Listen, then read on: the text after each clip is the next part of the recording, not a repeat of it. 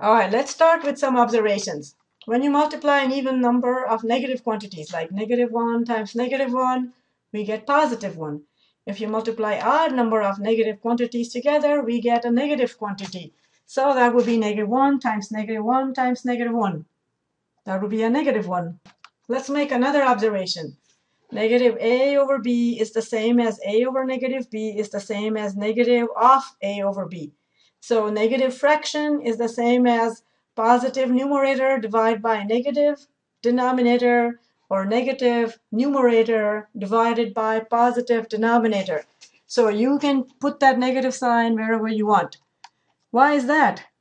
You can't just say that's what it is. You need to have a justification. So pause the video here and see if you can come up with a justification of why this is the same as that and why this is the same as that.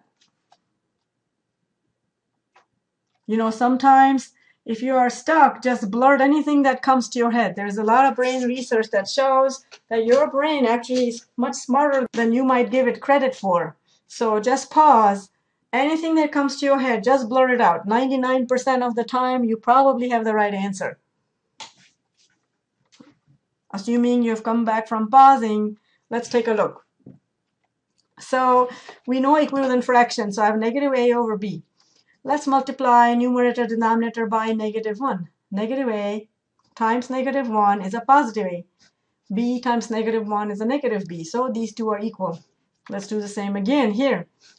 Negative 1 times a over b is the same as negative 1 times a over b. Negative 1, well, all numbers can be written as that number over 1. So negative 1 over 1 times a over b is the same as what? Multiplying fractions, you multiply numerators, denominators. So that's the same as negative a over b. So that's why all these three things are equal. We can also do the same here. And this time write it as 1 over negative 1 and multiply it out and you get a over negative b. So you can see how as long as there's one negative sign, you can put it here or here or here. All right, try this on your own. Remember what to do? Multiplying fractions means multiply numerators, multiply denominators. These are really big numbers. So it might help if we wrote this in factored form. We already saw how to do that. So multiplied in factored form allows you to divide out common factors, which will make them smaller numbers. So there's one 2 up here and three 2's down here. So we're left with two 2's if you divide one 2 out. We can divide the 5's and we can divide the sevens, and I think that's everything. There's nothing more that can be divided out. So the final answer, we're going to have 3 times 13, 5 times 2 squared, or 4. So 39 over 20 would be our final answer.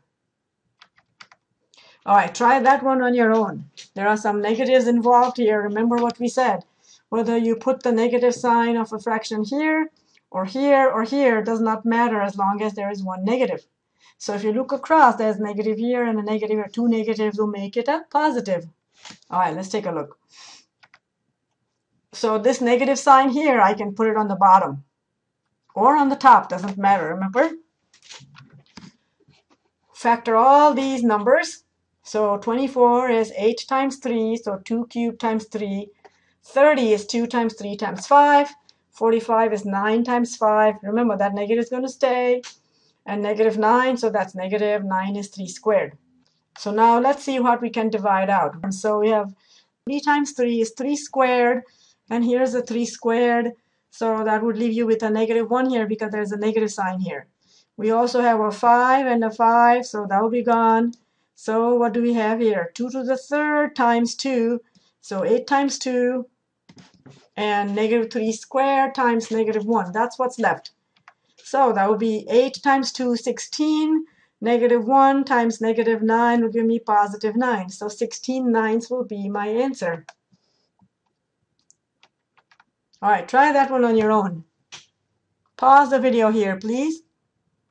Remember, if you have mixed fractions, change it into a fraction first.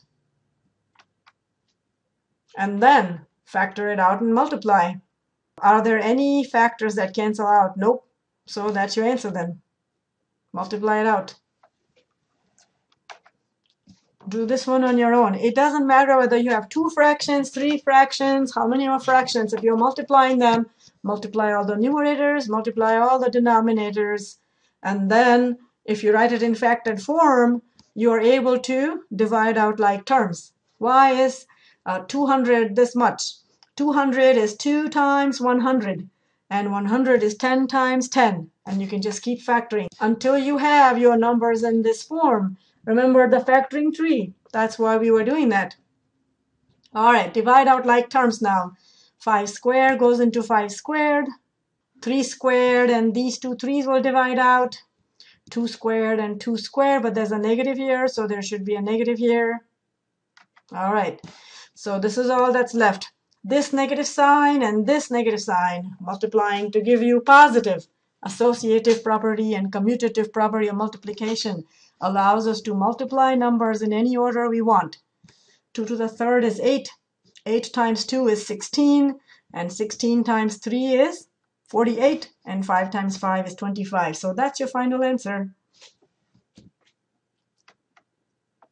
You can also write uh, this fraction as a mixed fraction. Now you have variable terms, but it's still the same process.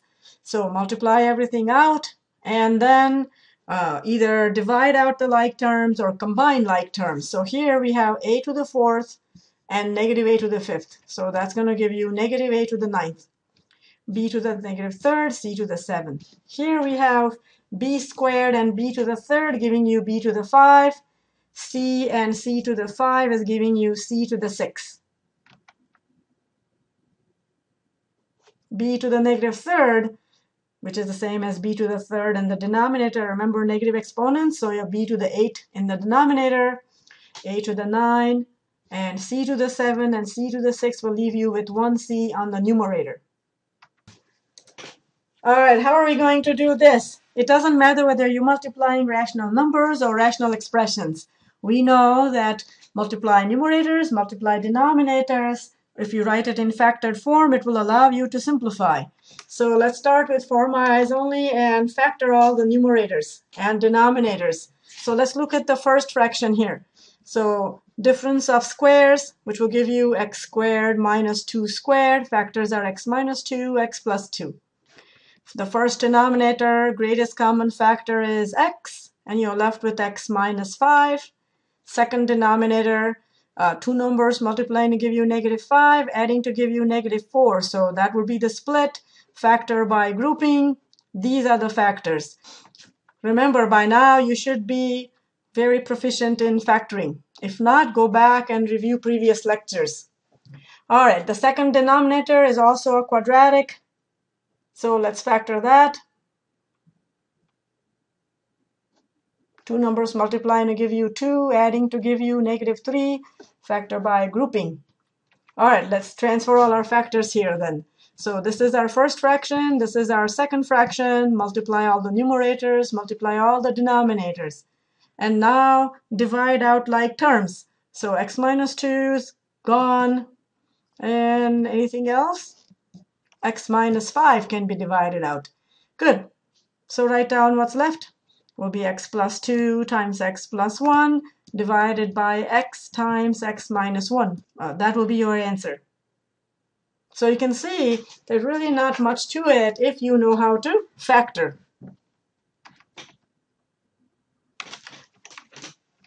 All right, try that.